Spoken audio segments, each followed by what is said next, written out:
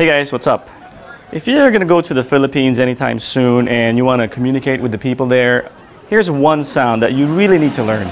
You guys ready? Psst. That's it. That's how we say hi, hello, how you doing? Excuse me, you dropped your cell phone. It's also one way to find out if somebody's Filipino or not. Just make that sound, psst. And whoever looks, that person's Filipino. Anyway, hope you guys enjoy the next show.